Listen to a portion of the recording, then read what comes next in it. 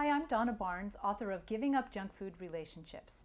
And in this clip, I'm going to talk about how to stop sabotaging your relationships. Because unfortunately, far too many of us suffer with anxiety or fear on some level. Whether it's fear of commitment, fear of intimacy, fear of rejection, fear of abandonment, it's fear that I believe ruins all relationships. So, the best thing that you can do for yourself is when you start feeling that panic and that insecurity where quite frankly you want to control your partner. And it's such a scary thing that when you can't when you can't control what they're doing and you want to and you try you're destroying your relationship. So the best little tool for you is when you start feeling that way you start panicking and you want to yell at your partner and you want to cry or, or whatever it is push the pause button.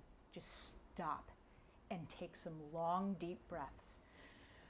Breathe in to the count of eight and out to the count of four. It's a cognitive behavioral therapy technique. It is impossible to feel anxiety when you're breathing deep. And here's the other thing the emotional response center of the brain is the first one to kick in. So we start to panic and we feel all those feelings, and the more thoughtful, rational part of our brain takes a few more minutes to kick in. So that's why when you're in an argument, you're told to just wait a few beats before you respond. You know, I never got that until I learned that by waiting those few beats, my brain is going to be more capable of responding. Then, yeah, I'll wait those few beats. So be really aware of that. When you start to catch yourself feeling really anxious or insecure or emotional or you're actually panicking. I think that's what a real panic attack is, where you have that anxiety that you're reaching out to that person and you need to communicate with them. Stop. You're going to do damage to your relationship. Push that pause button. Take some long, deep breaths. And if you're not in their company and you're trying to communicate something to them, write it down.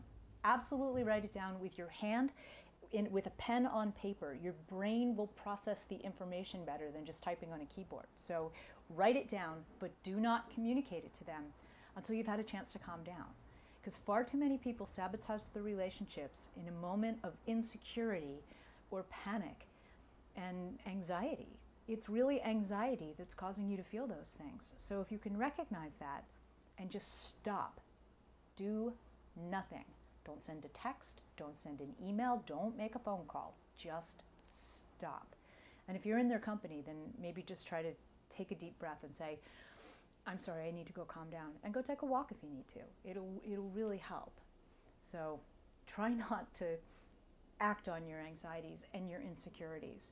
Push the pause button, take some deep breaths, and allow that more rational part of your brain some time to kick in and then listen to it. I'm Donna Barnes, the author of Giving Up Junk Food Relationships.